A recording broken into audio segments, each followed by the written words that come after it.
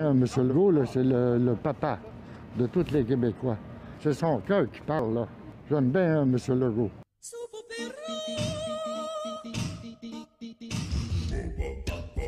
Personnellement, pour le travail de M. Legault, moi, j'ai rien à critiquer comme tel. Je vais vous dire, M. Legault, je vais voter pour vous. Ben, J'espère que c'est la dernière fois. là.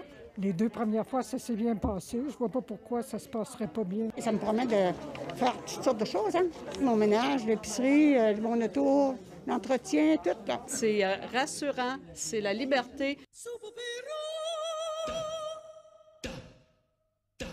mais c'est surtout de s'assurer que quand on va les remettre en ligne, on est certain euh, qu'il n'y aura, pas de- qu'il y aura pas de complications, que la faille va être corrigée. Bon, heureusement, c'est une fois qui est catastrophique pour les administrateurs de serveurs, mais pas pour le grand public. Là.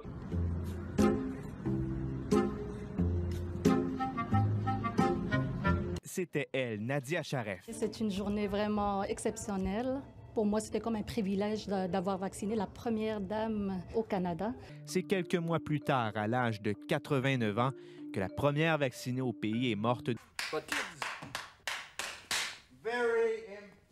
Il y a des gens qui peut-être devront stopper un certain médicament pour la durée du traitement pour pas qu'il y ait de, de- de complications. Ça, les médecins et les pharmaciens sont bien placés pour euh, diriger les, les gens là-dedans. Je m'appelle Olivier Bernard et je suis pharmacien. Je me suis fait injecter, puis euh, les muscles dans, mes, dans mon bras se sont mis à sauter non-stop. Tu sais, quand un muscle saute, là, genre en face, on fait de même, là? Mais il faut savoir que ça arrive dans une population qui est très vaccinée. Et, et- il faut être conscient que si le chien euh, rencontre quelqu'un, quelqu'un qui a le virus, ben il y a un risque sur le carton.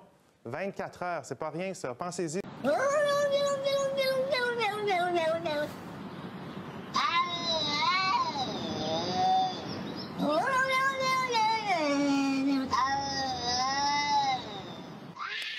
Les clients sont plutôt d'accord avec la mesure annoncée.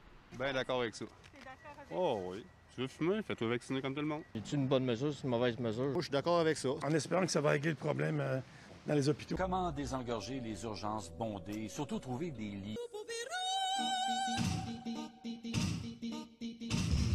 On avait un petit peu moins de ressources du côté sud et puis là, ben, l'armée nous aide puis ça nous permet d'aller encore plus vite. C'est plaisant de voir qu'ils s'impliquent pour aider. Je trouve ça euh, aimable qu'ils puissent venir toujours là, nous aider un peu. Réveillez-vous!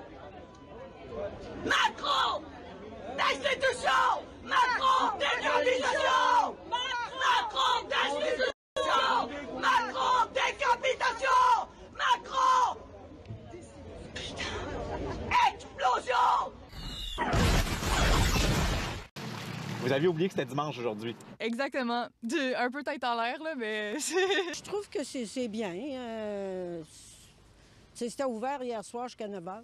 C'est les efforts qu'il faut faire pour s'en sortir. Fait que... Patience, compréhension et civisme et faire preuve d'empathie. Do you like human beings? Why do you think you are female? L'organisme Sherpa a eu l'idée d'offrir un espace d'expression artistique à la population. Le projet Crash ton COVID permet aux artistes et aux citoyens de se vider le cœur. C'était vraiment quelque chose de spontané qui était assis sur l'émotion, qui a fait qu'on on, arrivée avec l'idée de Crash ton COVID. Je pense que ça parle. Je pense qu'on a tous le goût un peu de cracher. Je pense pas à rien dans ce temps-là, puis euh, je crée des choses. L'hôtel le plus photographié au monde serre la vis. On vient de loger dans un hôtel pour la nuit. Les employés sont rentrés, nous servir le repas. Je, je me sentirais plus en sécurité d'avoir des, des gens que je côtoie qui sont vaccinés, comme moi.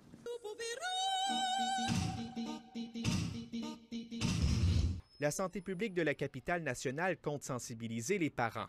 C'est pas une dose d'adulte qu'on donne à des jeunes. Ils sont quand même capables de transmettre euh, le virus. On va pouvoir euh, peut-être ajouter de la zoothérapie, des autocollants, euh, la surprise à la fin. Si on veut continuer à vivre, Je pense qu'il faut, faut combattre ce virus-là. Thank you for coming. Um, this is this is beautiful. I've wanted to meet you for a really, really long time, and you know, being here with you in the in the Cayman Islands, I gotta say, is uh, I'm feeling a little something.